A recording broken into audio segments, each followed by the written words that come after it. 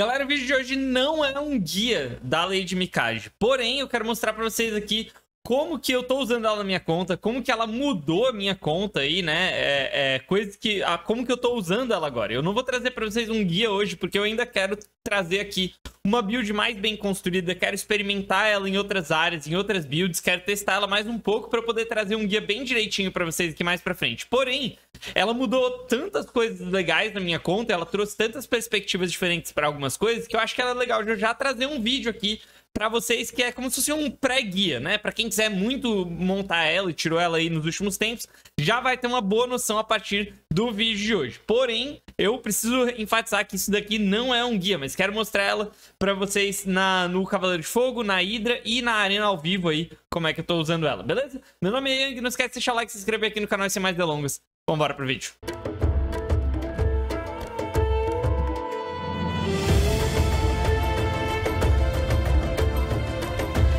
Galerinha, então, Lady Mikage aí, eu tirei ela, como vocês devem ter visto no meu, na, num vídeo que eu postei na semana passada, ou retrasada, onde eu fiz um monte de criminalidades, mas acabei fundindo aqui a Lady Mikage. É, e eu já tentei trabalhar com algumas coisas com ela aí, então já vou trazer aqui pra vocês algumas coisas, tá? Como eu falei, isso aqui não é um guia, então vou mostrar como que eu tô usando ela aqui, mas as explicações, as coisas mais detalhadas vão ficar pra um próximo vídeo aí, certo? Um, galera, eu buquei ela instantaneamente na hora que eu peguei, tá? Eu tinha, tipo, acho que 11 livros, ela vai acho que 10, se eu não tô enganado. Então, 1, 3, 4, e aqui vai mais 6, 7, 9, 10. Isso aí, 10 livros. Então, gastei meus 10 livros aqui, eu tinha 11, se eu não me engano. Então, sobrou um livrozinho mítico ali pra conta pra ela. E eu já tinha aqui uma bençãozinha, duas estrelas pra ela, coloquei aqui a polimorfia. Nem sei se essa é a melhor benção pra ela, na verdade. Eu acho que para porque eu tô usando a polimorfia, ela tem sido um bait pra arena ao vivo. Porém, porque daí se eu boto, por exemplo, um meteoro, muita gente vai achar que a minha Mikage não é uma Mikage de arena e acaba banindo alguma outra coisa do meu time que é mais importante. Ou é, a, pra arena ao vivo ela vai acabar ajudando um pouquinho com essa, com, esse, com essa polimorfia aí. Mas nem sempre. Nem sei se essa seria a melhor, a melhor benção pra ela, mas tá essa. Eu vou deixar essa por enquanto. Mais pra frente eu troco ou não, sei lá. Enfim, é, para as maestrias aqui, eu selecionei essas daqui. Eu decidi não colocar o ciclo de magia. Na minha opinião, inclusive eu vou fazer um vídeo mais pra frente sobre isso. Na minha opinião, o ciclo de magia não é uma, uma benção que você deveria colocar em ninguém mais hoje em dia. Ninguém mesmo. Especificamente por causa do Amius, tá? Porque para você uh, trabalhar com o Amius, para você usar, fazer montar um time de Amius, para você ir com um campeão, levar um campeão lá no Amius, você não pode ter ciclo de magia. Então, na minha opinião, o ciclo de magia virou uma benção inútil agora e eu tiraria ela de todos os meus bonecos se fosse possível.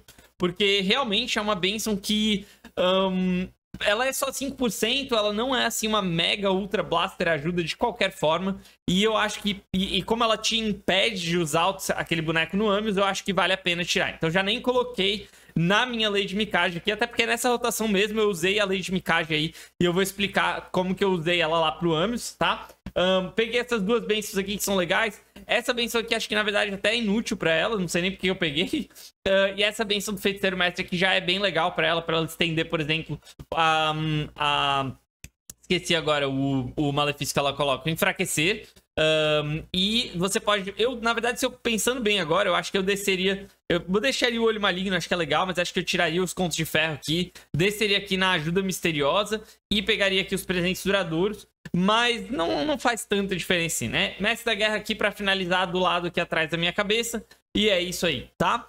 Uh, para os artefatos aqui, galera, eu fiz o seguinte, eu tentei montar ela bem rápida. E aí, eu fiz muitos testes, porque para mim, o mais legal que ela ia trazer para minha conta era o Cavaleiro de Fogo. E para o Cavaleiro de Fogo, eu precisava de uma velocidade mais ou menos parecida com essa. Que são os 300 e pouco de velocidade, tá?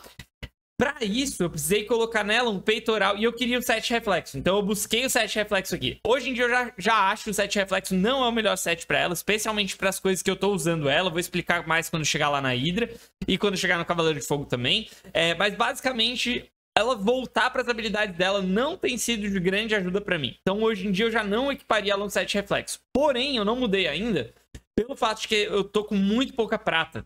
Então eu tô esperando um evento que vai vir daqui a pouco, que é um evento de trocar é, equipamento de graça. A Plarium já anunciou que esse evento ele vai vir todo mês. Então a gente já sabe que agora todo mês a gente vai ter esse evento de trocar para trocar equipamentos de graça. Então eu tô esperando esse evento, até porque daí eu vou ter, por exemplo, outros campeões, como por exemplo o Armans, pra eu, pra eu montar. Então já vai ser uma remodelação grande da minha conta que eu vou fazer. Então eu falei, ah, eu não vou ficar trocando a Lady Mikage agora para poder trocá-la depois de novo. Então eu acabei botando um peitoral de resistência para ela, que na minha opinião não é lá grande coisa. A bandeira aqui é de precisão, mas ó, vou mostrar aqui os equipamentos então. Bandeira de precisão com velocidade. Aqui eu tenho dano crítico com precisão, tá? É... Aqui eu tenho um artefatozinho de defesa com defesa, porque ela precisa de uma proteção pro meu time de Cavaleiro de Fogo. E porque isso aqui é de supersônico, então eu tô usando três peças supersônico para ganhar os 10 de velocidade.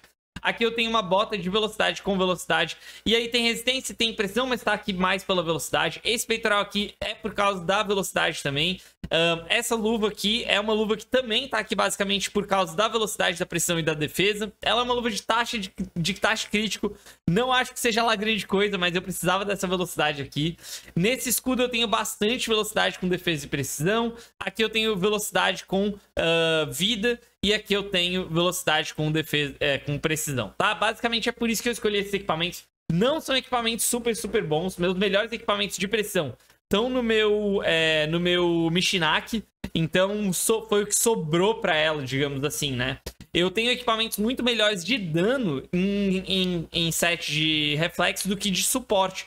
Então acabou que ela ficou numa build meio estranha mesmo, tá? Mas o que me importava mais aqui era a velocidade e a precisão, e eu queria muito usar o set reflexo para ela aqui, certo? Então, no total aqui, ela ficou com 305 de velocidade, uma vida e uma defesa razoável, um ataquezinho até razoável, né? Para quem tem 1.200 de ataque, ela ficou com 3.500 de ataque aí. Apesar de que eu ganho 900 da benção, tem que lembrar isso também, né? É, aqui eu ganhei, fiquei com 86% de taxa, 159% de dano crítico. Honestamente, não faz muita diferença na minha vida esse dano aqui para ela, tá? Não foi um foco. Poderia ter sido, porque ela tem um danozinho razoável para um suporte. Eu poderia ter colocado dano aqui nela, ajudaria no meu Cavaleiro de Fogo e ajudaria na Hydra também. Porém, é o que eu falei, a build dela não tá uma build otimizada. E até esse é um dos motivos pelo qual eu não tô trazendo um guia aqui, porque a build dela tá toda meio zoada. É... Então eu tenho um pouquinho de resistência, consequência dos equipamentos que eu acabei escolhendo porque tinham velocidade e 301 de pressão tá sendo suficiente para mim, tá? Especialmente porque na Hydra eu tô usando a aura dela agora que dá 80 de pressão, então me ajuda bastante, certo? Na questão da benção aqui, eu até poderia escolher uma outra benção. Eu acho que tem outras bênçãos melhores aqui para ela, como por exemplo a crueldade, é uma benção bem interessante. É... Outras bênçãos interessantes aqui para ela, o destruir a alma vai ser legal, enxofre vai ser legal, então são bênçãos bacanas aí para colocar para ela, tá? Vamos dar uma olhadinha no meu time de Cavaleiro de Fogo aqui, então. Um, eu vou mostrar o antes e o depois para vocês terem uma noção de como tá funcionando o meu time de Cavaleiro de Fogo. Bom, tá aí atrás, então, da época que eu tava loiro ainda. Um, o time de Cavaleiro de Fogo tava em 3 minutos e 3, 3 minutos e 5. É, eu fiz alguns testes trocando a Honda. Eu consegui melhorar um pouquinho os equipamentos deles dessa época desse vídeo. Inclusive, vou deixar o link desse vídeo aqui na descrição do vídeo. Uh, desse vídeo. Vou deixar o vídeo. Calma, calma. Vou deixar o link do vídeo que tá na tela de vocês agora. É esse que eu tô mostrando do Cavaleiro de Fogo. Vou deixar na descrição desse vídeo aqui, para caso vocês queiram ir lá e assistir esse na sequência, tá? Um, eu consegui melhorar um pouquinho. Tem, testei coisas diferentes, tirando a Honda, por exemplo, e colocando, é, colocando o Loja da Tumba porque com o Loja da Tumba eu tenho o diminuir defesa para as waves, o que me ajuda bastante, e tenho pro boss também, o que também dá uma ajuda. Eu testei colocando, por exemplo, a Zinogre, que também dá aumentar velocidade, também dá um dano legal, então ela também ajudava a acelerar o boss, por exemplo, né? E acabou que o, o tempo não mudava muito, assim, o mais rápido que eu consegui era 2 minutos e 50, eu acho que foi com o próprio Loja da Tumba aí, para ajudar o time. Como é que esse time funciona? Na primeira wave eu ia nucando os inimigos, usando a Honda, usando o Gnut e a Cal para dar bastante dano, né? Na segunda wave eu fazia mais ou menos a mesma coisa com a Honda controlando a Hiro, né? Que é um problema que a gente sabe. Um, e aí, quando chegava no boss, eu usava o escudo, o Lonatario em 7 escudo e o escudo do Lonatario da habilidade 2 pra, e a proteção do cardial, lógico, para receber o dano do boss e aí voltar para cima dele e macetar ele. Normalmente o que acontecia aqui é que a gente tinha 2 a 3 do Gnut para poder derrubar o boss, certo? Então eu dava a 3, aí o Gnut dava os 4 turnos dele controlando o medidor de turnos. Quando o Gnut chegava na 3 dele de novo, eu matava o boss, certo? Então mais ou menos 3 minutos aí. E com a, a Lady Mikage aqui, ela já vai me abrir um time um pouco diferente. Ele vai seguir mais ou menos uma mesma ideia. Porém, eu vou usar aqui um Kaimar Nuker, tá? É, eu vou usar aqui um Kaimar Nuker. A Mikage, ao invés do... Do Lonataril. E aí eu construí o meu Loja da Tumba aqui em set de escudo, tá, galera? Então eu vou mostrar pra vocês aqui os presets e as velocidades. E lembrando que isso daqui já tá com o adicional do Cavaleiro de Fogo. Eu investi bastante no Cavaleiro de Fogo na minha é, no meu salão da Arena ao vivo, tá? Mas meu cardeal tá aqui então, 327, como vocês podem ver aqui, tá ganhando 14 de velocidade a mais, né? Porque é o Cavaleiro de Fogo. Uh, o Loja da Tumba tá aqui num set escudo com 76 mil de vida. O Kaimar tá aqui 92% de taxa, para não perder a minha qualidade aí. Um uma vida boa para ele sobreviver ao hit do boss também. 4k de ataque, 298% de dano crítico. A, pressão dele não importa muito. E o Gnut tá aqui com a build que vocês já viram aí, a mesma build que eu uso nele há milênios, tá? Vou dar uma mostradinha para vocês aqui então na corrida, ó. Vamos ver como é que ela roda aqui então. É, é uma corrida muito legal, eu basicamente eu tô bem orgulhoso desse time. Então, na primeira wave aqui, a gente tem a Mikage já colocando o aumentar ataque o aumentar dano crítico aí em todo mundo, por isso que ela dá o, o ataque de aliados. Vamos entrar aqui com o diminuir defesa. Assim, o próprio Kaimar e o próprio Gnut já vão dar um dano bem legal aí, dar uma derretida forte nas waves. A A2 da Mikage entra também para poder ajudar a matar as waves aí, certo? Na próxima wave, aqui eu vou estar tá botando aí aumentar taxa, aumentar dano crítico do, do Cardiel. E com a Mikage eu vou transformar. Pra já começar a botar malefício na Rio. Porque aqui eu não tenho aquela, aquele controle que eu tinha. Então, aqui eu vou usar o stun da, da Mikage para poder controlar a Rio, certo? E a ideia é que essa wave aqui, eu vou passar essa wave mais ou menos aí próximo de um minuto, um minuto e pouquinho, é quando essa wave normalmente... É, próximo de um minuto é quando essa wave normalmente termina aí. E aqui eu vou transformar a Mikage. Se eu não transformar a Mikage aqui, ela, é a primeira coisa que ela faz aqui é se transformar também na, no boss. Aqui eu já vou me proteger com o, Card, com o Cardiel e vou botar o contra-ataque aqui com o Gnut. Recebemos o hit do boss, não tem problema, ninguém morre nessa wave aqui. O Gnut vai bater aí, vai já tirar alguns, é, alguns turnos do boss. Deu contra-ataque tanto do, do Kaimar quanto do Lorde da Tumba. Vem o ataque de aliados aí do Cardiel. Vai vir o ataque de aliados também da Mikage pra gente derrubar o escudo e continuar diminuindo o medidor de turnos. Além de colocar o diminuir velocidade. O Gnut vem com a A3 dele pra, diminuir, pra bater em tudo. E aí a gente vai ter aqui... Engraçado que o, o, a gente teve um erro aqui, porque o Loja da Tumba não colocou o diminuir defesa. Era pra ele ter colocado o diminuir defesa dele já. Mas colocou agora, não tem problema.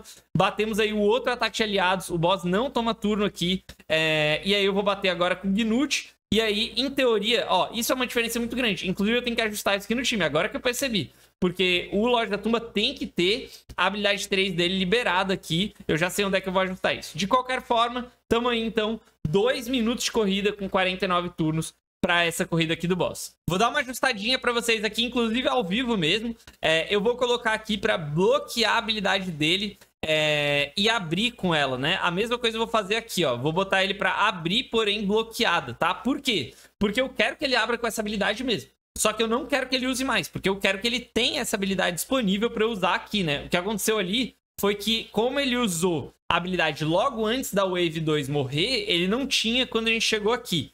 Então, e eu não preciso que ele tenha essa habilidade. Então, eu realmente quero que ele use essa habilidade. É, então, vou deixar aí liberada para ele, tá? Pro Loja da Tumba aqui. E vamos fazer uma corridinha de novo. Uh, só pra gente ver mais uma vez. Eu sou, sou, muito orgulhoso desse time, porque eu acho que ele é um time muito legal. É, vamos dar uma olhadinha aqui então. Batemos. Botamos aí o aumentar ataque para que o próprio é, Kaimar dê mais dano, né? É, vamos ter aqui então a Fúria dos Reis para bater. O Kaimar tá dando um dano bem legal aqui com a build que eu coloquei para ele. Vamos batendo aqui. Finalizamos aí a primeira wave em 17 segundos, que tá ótimo na minha opinião. Vamos aqui para o Cardiel colocando a habilidade dele aí. Vamos aqui para o... Já temos aqui... Vamos colocar o Enfraquecer, que o Gnut não vai colocar nessa wave, então é legal que a, a Bicard também coloca. Vem aqui o Kaimar para bater. A gente vai ter agora o atordoamento. Vamos ter aí entrando... É, o, o, nessa segunda wave aqui, então, o Loja da Tumba acho que nem vai chegar a colocar o diminuir defesa. Porque se ele fosse colocar, ele colocaria, tipo, aqui, que é onde está liberado para ele, né? Mas eu acho que eu consigo passar essa wave rápido sem o diminuir defesa. Eu gostaria de ter o diminuir defesa, para ser bem sincero. Mas acho que não tem necessidade aí de, de colocar esse de defesa. Um minuto para passar a segunda wave. Essa segunda wave tá um pouquinho lenta, tenho que melhorar um pouco aí nessa segunda wave, mas também não é o fim do mundo. Como vocês viram, a Mikage, ela já tá transformada aqui, né? Então a gente pode transformar. Às vezes acontece de ela se transformar na wave passada, às vezes acontece de ela se transformar aqui, tanto faz. Vamos batendo aí. Teve um, um contra-ataque do Kaimar agora, por causa de acessórios aí, né? Que eu coloquei nele e no Loja da Tumba também mas não tem necessidade absoluta aqui de entrar esse contra-ataque do Kaimar, não, tá?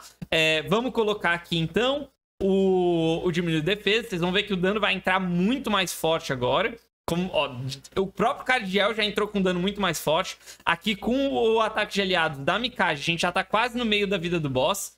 Com o ataque de aliados do Cardiel, a gente já passa do meio da vida do boss. E aí agora vai vir o Gnut aí com a, a pancada abençoada dele e não chegou a matar. Aqui falta um pouquinho de dano. Se eu tivesse uma benção 4 aqui no Gnut, eu faria essa, essa corrida aqui ser mais curta ainda. Mas tá aí 51 turnos, um pouquinho menos de 2 minutos. Esse 1 minuto e 45 aqui foi o recorde. O que aconteceu? O Gnut chegou lá, deu a segunda, a segunda A3 dele e matou aí o boss. Então a Mikage acelerou 33% no meu time de Cavaleiro de Fogo e tá muito legal esse time aqui.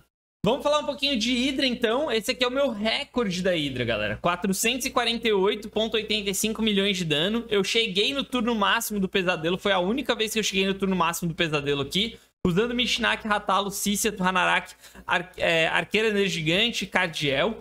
É, foi um time muito da hora, semi-automático, muito, muito, muito bacana aí. Porém, eu queria muito encaixar a Lei de Mikage no meu time, e para isso eu fiz uma modificação bem brusca no time. Então eu trouxe esse time aqui, com Lei de Mikage, dois Mishinakis, Arqueiro Energigante e Hanarak Ratalos. Então saiu daqui o Cardiel, a Cícia, né, que tava colocando aí o Queima-Vida, pra entrar o outro Mishinak e a Lei de Mikage. O que, que esse time aqui faz, galera? A Lei de na habilidade 1 dela, então a Lei de não se transforma nessa, nessa composição aqui, na uh, habilidade 1 dela, ela sempre vai puxar um aliado da facção do Shadow King, um, dos Filhos da Sombra, pra atacar junto com ela. Como eu tenho dois Mishinaks aqui, ela sempre puxa um Mishinak. O que, que acontece? Os Mishinaks vão se alternar e assim, é bizarro, porque às vezes ela bate com a habilidade 1, aí vem um Mishinak pra atacar junto com ela no ataque de aliados dela, porém ativa a passiva dos dois Mishinaks, então os dois Mishinaks atacam com a habilidade 1 de novo. Então é tipo, uma habilidade 1 dela às vezes resulta em quatro ataques, sendo três dos Mishinaks mais um ataque dela, que dá muito dano. Como eu tenho dois Mishinaks no time também, e, e a arqueira energigante, a gente tá sempre com bruxaria, tá sempre espalhando esse dano. E a gente vai estar tá sempre colocando queima-vidas aí em todos os inimigos ali, basicamente, com isso. Além de ter uma consistência muito grande no diminuir defesa. O que, que aconteceu com esse time aqui, galera? Por causa de eu não estar usando o Cardiel mais aqui, é, eu tenho uma inconsistência muito grande na questão da sobrevivência do time, tá? Por mais que a arqueira gigante cure demais, demais, demais, demais, não tá sendo suficiente para sobreviver o meu time. E esse time aqui tá com RNG muito grande. Porém, esse time bateu 335 milhões, então, ó, meu recorde bateu 448. Esse daqui bateu 335. 100 milhões, 110 milhões a menos. Só que esse time aqui não chegou nem no turno 1000. Então, a hora que eu conseguir um RNG bom, semana que vem eu também vou dar uma mexida, né? Eu acho que a hora que eu mexer na, na lei Mikage e tirar o set reflexo dela, vai mudar isso aqui. E eu vou provavelmente conseguir chegar mais pra frente. Se eu conseguir chegar isso aqui no turno 1500, eu tenho certeza absoluta que eu passo de 500 milhões de dano aí. Então é um time muito, muito, muito absurdo, né? E aí, por que, que a de Mikage, na minha opinião, não tem que estar tá com o set reflexo aqui? Por causa da Tuhanarak a Tornarak coloca um aumentar, aumentar velocidade aumentar defesa no time. E a ideia é que a habilidade 2 da Lei de Mikage vai estender esse aumentar velocidade esse aumentar defesa, fazendo que a sobrevivência do time fique melhor e que o time tome mais turnos, certo? Quando eu tenho 7 reflexos aqui, o que, que acontece? Volte e meia, ela volta para a habilidade 2 dela mais cedo, aí ela destuna essa essa, esse engate que tem na habilidade 3 da Tornaraki com a habilidade 2 da Lady Mikage. E aí ela para de estender. Então, volta e meia, eu tô direto sem o aumentar a velocidade. O que faz com que o time fique muito desconexo e descompassado. Então, assim, eu ajustar isso vai ser muito bom. E o set reflexo tava me ajudando bastante lá na, na arena, na, no Cavaleiro de Fogo. Quer dizer, na arena ao vivo. Mas no Cavaleiro de Fogo, na verdade, ele nem faz diferença, porque eu vou estar tá sempre tendo as habilidades da Lei de Mikage mais ou menos no mesmo. usando junto, sabe? No, no, nas mesmas partes, né? Então, no fim, no fim, no fim, não faz muita diferença 7 reflexos para ela. Isso foi, foi uma coisa que quando eu testei eu percebi. Não colocaria 7 reflexos para ela aqui, tá? Então, vou tentar tirar o 7 reflexos para ela e acho que vai dar melhor aí, certo? Não sei o que eu vou fazer ainda, se eu vou colocar um 7 mais de dano ou mais de velocidade, com mais suporte aí, quem sabe um 7 de, é, é, de guardião para ela, alguma coisa desse gênero. Ainda assim, tô bem feliz com esse time. E aí você deve estar se perguntando, nossa, Yang, mas você tá desperdiçando dois Michinax. O seu Brutal deve estar horrível agora que você tirou os dois Michinax de lá. Na verdade, não, galera. Porque como eu tirei o meu Cardiel de lá e taquei ele pra cá, esse time aqui do Brutal ficou simplesmente absurdo. Porque é um time de Brutal que tem Cardiel, Krisk e Gnut, sabe? Então, e, e a Cícia, tipo, saiu dois dos meus principais campeões do time do Pesadelo e eles vieram pra cá, que é o Cardiel e a Cícia. O Krisk já tava aqui desde que eu peguei a Arqueira Gigante. E se juntou o time do Gnut Mitrala e o Mamaco aí. Esse é o Mamaco, meu Mamaco de arena, tá, galera? Não é nenhum Mamaco especial aqui pra Hydra, não. É um Mamaco de arena. Até posso mostrar o vídeo dele aqui. Mas é o meu Mamaco de arena. E montou esse time aqui que chegou quase no turno 1500. Chegou 1450 e bateu 326 milhões aí, que é o meu recorde de brutal também. Bom, galera, e pro Amius aqui eu obviamente tirei ela do set reflexo, tá? E usei esse time pra passar. E por que que ela era muito forte aqui, tá? Por alguns motivos. Primeiro que Logo antes do boss transformar para a forma alternada dele, eu usava a habilidade 3 para dar aumentar ataque e aumentar dano crítico. Dessa forma, o boss focava em, um, é, em usar a habilidade 3 e a habilidade 2 dele e não só em ficar batendo com a A1 infinitamente, certo? Essa era uma das coisas. A segunda coisa é que eu podia estender o aumentar ataque do uh, Altan é, para que ele ficasse por mais turnos. Então, se o Altan conseguia colocar um aumentar ataque, muitas vezes eu ia ali com a habilidade 2 da, da Lei de Mikage, que aumenta a duração de todos os malefícios nos inimigos, certo? Então, aqui, aumenta a duração de todos os malefícios dos inimigos. Então, também era algo importante e interessante que eu fazia aí para ela, certo? Uma outra coisa é que eu deixava o boss me transformar para que eu tivesse essas habilidades aqui na hora que eu não precisava usar as outras e aí, quando dava, eu me transformava e aí usava essa habilidade aqui da hora, na hora correta. Então ela foi bem essencial aí para passar, porque você, se você tiver isso, né, de aumentar ataque, aumentar dano crítico, aumentar taxa de crítico, esses benefícios que quando transformados em malefícios, eles não vão fazer você morrer mais rápido, como um aumentar defesa ou um fortalecer, por exemplo, vai te ajudar bastante a passar esse boss. E você usa isso logo antes do boss transformar. Já expliquei, tem vídeo sobre o Amius aqui no canal, mas ela foi parte essencial aí da minha passagem aqui do Amius nessa rotação. E por último, mas não menos importante, queria mostrar bem rapidinho aqui pra vocês umas batalhazinhas da Arena ao vivo, que eu tô usando ela. Então, minha estratégia aqui atualmente, como teve eventos aí dos épicos da, da Mikage e tal, tem muita gente usando ela aqui na Arena ao vivo, tá? Foi, é bem engraçado, porque eu peguei ela e agora tá todo mundo com ela, né? Então eu, eu costumo abrir com uma e ela quando eu tenho oportunidade porque é um combo bem legal aí, é um combo bem interessante, é, é, é bem disruptivo pro inimigo, né? Uh, só para deixar claro, eu ainda não upei o meu Armans, então minha estratégia pra área ao vivo assim que eu tiver o Armans vai mudar bastante. Mas olha só essa primeira batalha, então, o cara veio aqui, né, com, uh, com esse time, eu vim aqui com a Lady Mikage, com, aí no fim eu troquei aqui, botei, deixei o Cardiel. A, a pessoa. Ah, se bem que esse time. Essa batalha que foi uma batalha que eu perdi. Eu acho. Perdi? Não, não perdi. Foi uma batalha longa. Foi uma batalha bem longa mesmo. Deixa eu colocar aqui no 2x. Que daí acho que vai ficar mais fácil de a gente assistir sem ficar esperando muito. Foi uma batalha bem longa aqui. Foi bastante controle. A Lei de Mikage me, ajudou bastante a controlar o time inimigo. Especialmente ela me ajudou bastante na forma transformada dela em remover os, os benefícios dos inimigos. Acho que eu vou fazer isso agora, ó. Uh, então aqui dá pra ver, ó, removi todos os benefícios inimigos com a, a, forma transformada dela, né? Ela me ajudou bastante a aumentar o dano do meu time por causa do ataque de aliados que ela traz e a controlar o meu time. O cara quase ganhou, quase matando a minha árbitra aí com os contra-ataques, os ataques da, da Arix dele. Foi bem interessante. Mas eu consegui voltar, consegui matar aí, consegui controlar, consegui sobreviver com a minha árbitra, que é um pouco mais tanque, né? É, e consegui aí retornar ao time. Até o momento em que. Deixa eu voltar aqui, vamos lá. Até o momento em que eu consegui finalmente com o Mamaco aí é, dar uma a 2 no, no UDK dele e deletar o time do cara inteiro. Na próxima partida, o cara abriu de Sif. E aqui tem um outro uso interessante aqui pra mim. Não sei se é nesse time que tem uso interessante da Lei de Mikage, mas vamos ver. Então, a Lei de Mikage, ela vai trazer aí controle, muitas coisas legais aí para quem vai na arena ao vivo. Eu vim aqui contra o cara, então, uh, pra fechar o time, eu fui de Lissandra, porque daí eu tinha certeza que eu ganhava do cara na velocidade, né? Tirei, uh, acabei tirando aí o Armans dele, se eu não tô enganado, porque se o cara se eu não conseguisse de deletar o cara e matar o cara numa só, o Armans não ia ser um problema para mim. A gente sabe que o Armans é um controlador simplesmente absurdo aí. No fim, eu fui mais rápido mesmo. Uh, boostei aqui com os meus dois campeões. E aqui vem um uso interessante da Mikage, né? A Mikage, por ela ser uma mítica e por, ela, por a minha Mikage estar tá com a ovelha, muitas vezes vai acontecer o que aconteceu aqui. O cara baniu a Mikage. E pelo fato de ele ter banido a Mikage, olha o que, que acontece. O cara deixou tanto os meus dois campeões mais rápidos né? Que é a árbitra e a Alessandra. Quanto ele deixou os meus dois nukers. Então eu consegui deletar a, a árbitra, a, a Cif do cara com a minha, com a minha Honda. E aí isso abriu para eu matar o resto do time com o Mamaco, né? Imagina se esse, se esse se esse cara aqui, que eu esqueci o nome, tivesse com pele de pedra. Eu poderia ter usado a habilidade 2 da, da Honda nele, porque daí eu matava o pele de pedra, vinha com o Mamaco e matava todo mundo. Só quem não morreu foi aquele cara que, no fim, eu acabei aí matando boa parte do resto do time dele com a, a 3 da Honda.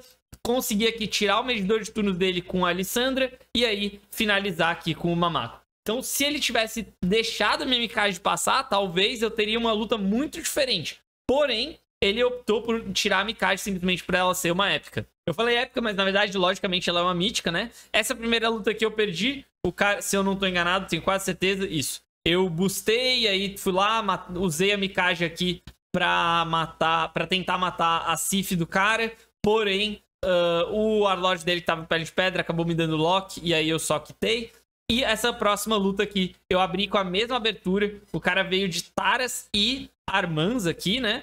É, eu continuei com me o mesmo combo de uh, Honda e Arbitra. E o cara fechou com dois míticos aqui, certo? Eu, particularmente, não tenho muito medo de campeões míticos. Preferi banir a Sif, porque a Sif era a velocidade dele. E a Sif era também uma ovelha 6 estrelas. E aí, no fim, ele fez a mesma coisa. Ele foi e baniu direto a Lei de Mikage. O que, que aconteceu? A gente tem aqui a mesma situação anterior.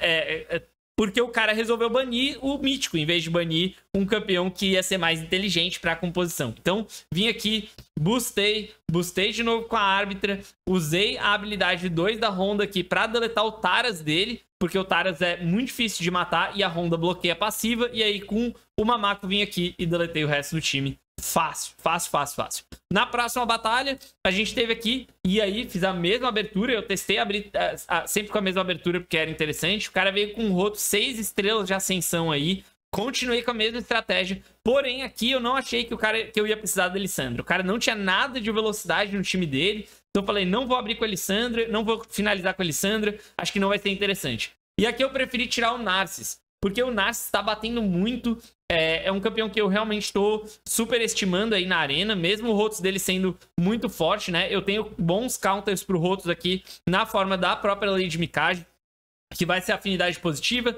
e que vai poder stunar ele tranquilo. E vai ter aí o ataque de aliados para dar vários danos nele ao mesmo tempo. Além da Honda, que é simplesmente absurda contra o, o Rotos. O Rotos também ia ter dificuldade aí contra o Uko, por exemplo, caso o Uko passe. No fim, ele resolveu banir uma, o Mamá. Eu acho que o ban dele foi a pior opção que ele teve. Porque é, o, o Mamaco é fraco contra o Rotos de todas as formas. E o cara tinha pelo menos uma, uma bençãozinha aqui de retorno, né? Aquela bençãozinha que vai tirando a vida, vai destruindo a vida de quem volta a vida, que é muito boa para counterar o Mamaco.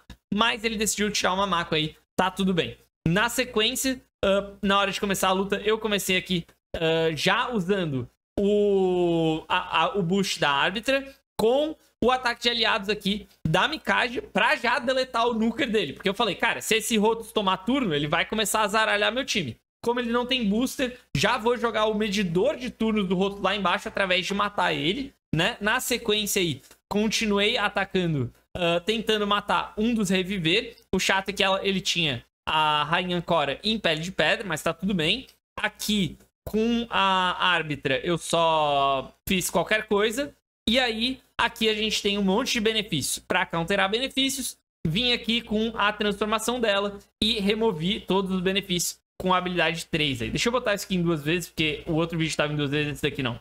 Aí o roto dele tomou turno, ele acabou decidindo por matar a minha Honda, o que na minha opinião também foi uma coisa errada. Eu teria ido com a A3 na árbitra, mas beleza. Usei aqui o meu Uco, que não stunou ninguém, revivi, boostei de novo. A rainha Ancora dele deu um escudinho e eu vou vir aqui com o atordoamento, que infelizmente não pegou no Rotos. Pegou em todo mundo, mas não pegou no Rotos.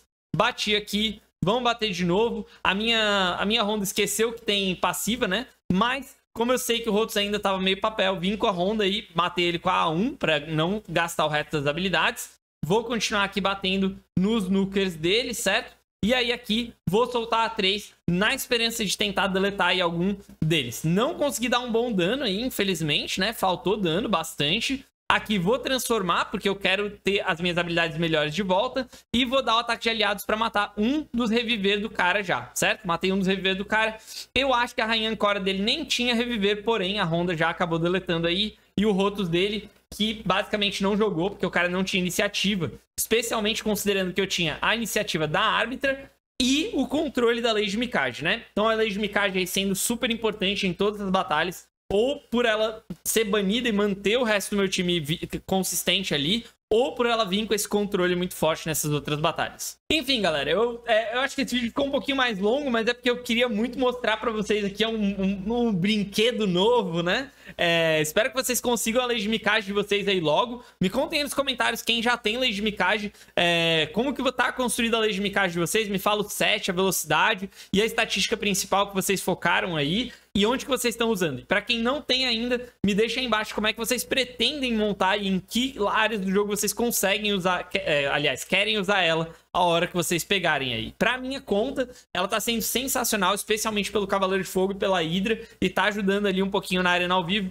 Mas, como eu falei, quando vier esse evento de troca de artefatos aí gratuito, eu vou trocar toda a build dela e aí vou trazer aqui um guia de verdade pra Lei de aqui pra vocês, beleza? Galera, espero que vocês tenham gostado desse vídeo, vou ficando por aqui, vejo vocês no próximo e tchau.